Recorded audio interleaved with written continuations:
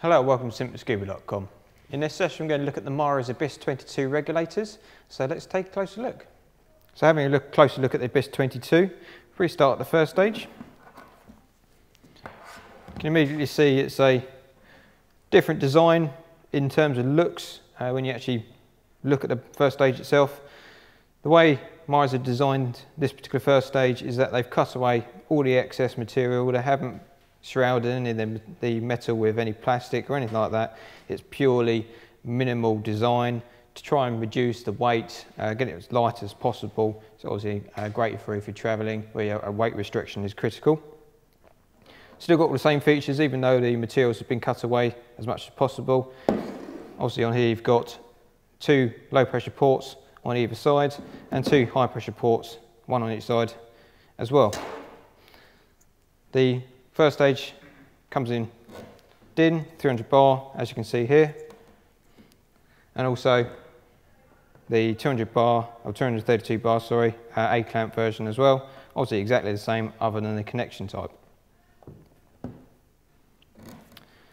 So a nice small design, diaphragm mechanism inside, balanced as well, so it's going to give you great performance. We move down towards second stage, We'll just have a closer look at the hose.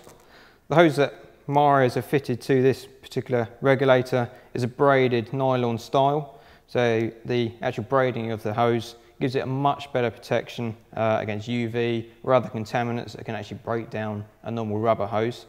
Also, the burst pressure of these hoses is a lot higher as well, so obviously it's greater safety from that point of view. And the other benefit of these hoses is that they can be looped up quite tight and, and that's still not restricting any of the flow inside. So they're great for a uh, routing point of view as well. So have a look at the uh, second stage.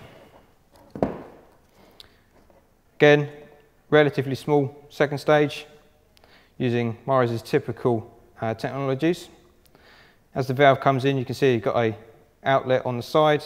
This just helps improve the performance of the second stage by diverting some of the uh, incoming air directly to the mouthpiece. So you're getting much better flow inside the second stage itself, obviously giving you a much nicer breathe uh, when obviously you're using it.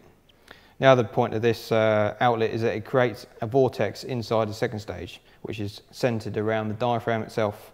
So when you're breathing, that vortex is created and it draws the diaphragm back down in towards the second stage, giving you much better flow. So it's a lot more breathable, a lot easier to open the valve. Having a look at the exhaust, you see it's again relatively small, but it's angled at quite, an, at quite a steep angle to divert the bubbles away from the face, so it coming up in front of the mask. Obviously, as a nicety for anyone that's into photography or videography, just stops that um, distraction when in use.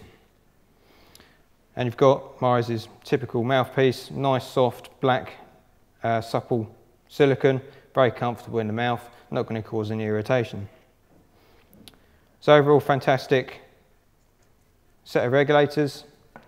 Great for everyday use, cold water, warm water, whatever you want to use it for. Nice value for money set of regulators.